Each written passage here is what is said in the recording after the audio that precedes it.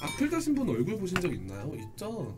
난 예전에 나한테 악플 단 사람이 나한테 전화 와가지고 전화 데이트 한 적도 있어. 오, 얘 악플론지 모르고 전화 데이트 한 거 있지? 나중에 알았어. 어떤 일이었냐면 그게 나는 몰랐는데 그때 안 게 있어. 뭐였냐면은 여러분들 그거 알아요? 저는 이제 카카오톡을 컴퓨터에 깔아서 쓰거든요. 컴퓨터로 일하는 게 많다 보니까 카카오톡을 해- 컴퓨터에 깔아놨어요. 근데 나는 몰랐는데 핸드폰으로 그거를 확인하면은 컴퓨터 카카오톡에는 안 보이더라고. 맞아요? 간혹가다 나는 그러던데.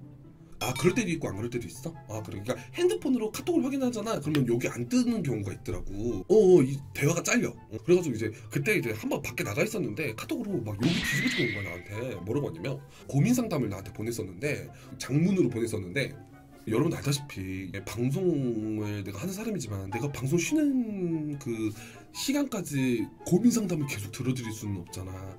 그래서 내가 고민 상담을 보고 웬만하면 답장을 잘 안 드리거든. 예를 들어가지고 뭔가 진짜 도와줄 수 있는 상황이면 내가 답장을 드리지만 사실 방송 안 할 때도 고민 상담이 하루에 진짜 열 몇 개, 스물 몇 개씩 와요. 진짜 적어야지. 그러다 보니까 나도 너무 그런 거에 좀 힘들어. 그래가지고 웬만하면 이제 고민 상담 보면 잘 안 읽는단 말이야. 안 읽을 때도 있고 모르고 눌러가지고 보는 경우도 있고 그렇단 말이야. 그랬는데 어느 날 이제 바- 밖에 나가가지고 있는데 카톡이 온 거야. 그러더니 막 욕을 써놨어. 이게 고민 상담을 며칠 전에 나한테 보냈는데 일십을 했다 이거지. 그러면서 막 거기다가 씨년이 막 족발년이 난리가 났어. 개 같은 년이 씨막 연예인병 걸렸다면서.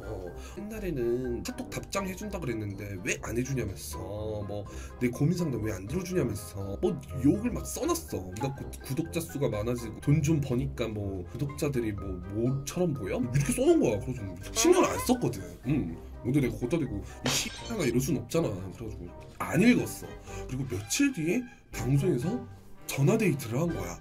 그래 그런 것도 하고 그날은 뭐 아무 생각 없이 이제 구독자분들 전화 온 거 전화 받고 뭐 하고 이런 좀 얘기를 하고 뭐 그날 이제 전화 데이트 잘했지. 그리고 나가지고 며칠 뒤에 보니까 카톡을 확인하는데 왜냐면 이제 전화 데이트를 하면은 부재중 전화 카톡이 이만큼씩 있어요. 그럼 그걸 다 클릭을 해서 지우든가 나가기를 눌러가지고 카톡 정리를 한 번씩 해야 돼요. 전화 데이트를 한 번 하면은 정리를 하면서 봤는데 어머 그 사람이 전에 나한테 개쌍욕을 한 거야. 근데 전화 데이트를 한 거야. 그거를 또 다시 보기로 돌려봤더니 너무 팬이라면서.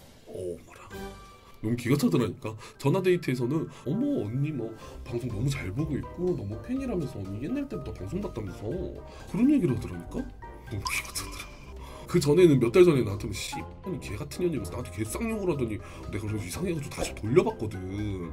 다시 돌려봤더니 너무 팬이라면서 옛날부터 봤다면서 언니 앞으로 잘 됐으면 좋겠다면서 응원한다면서 그러더라니까. 그래서 어, 이게 무슨 일이야? 이랬더니 너무 기가 막히더라 아니 그냥 나는 진짜로 하, 절레 절레야 절레 절레.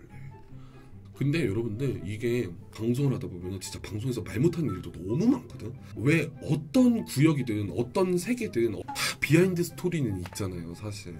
그러니까 뭐 예를 들어서 우리 회사 내에 누구 친구 관계 내에 뭐 이런 비하인드 스토리는 항상 있잖아. 하, 정말 나는 방송 마지막 때 다 풀고 갈까봐.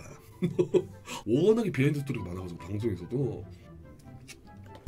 아유 방송에서 말하면 괜히 논란만 생기니까 말 안 하는 거야 나도 자극적이고 이러니까. 말 안 하는 거야